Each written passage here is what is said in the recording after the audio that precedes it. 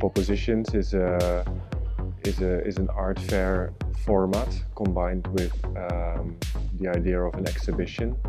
what we try to do every year with Poppositions is to invite uh, galleries, project spaces, uh, artist initiatives to send in proposals and together with a jury we make a selection that is then assembled into uh, an exhibition format each year between 20 and 30 participants from all over the world.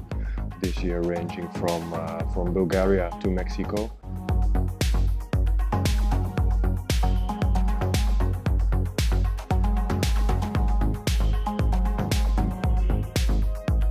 I think the term the term woke uh, is actually a, an umbrella term that includes many different fields like uh, feminism, uh, queer, gender, post-colonialism, uh, and uh, capitalist critique.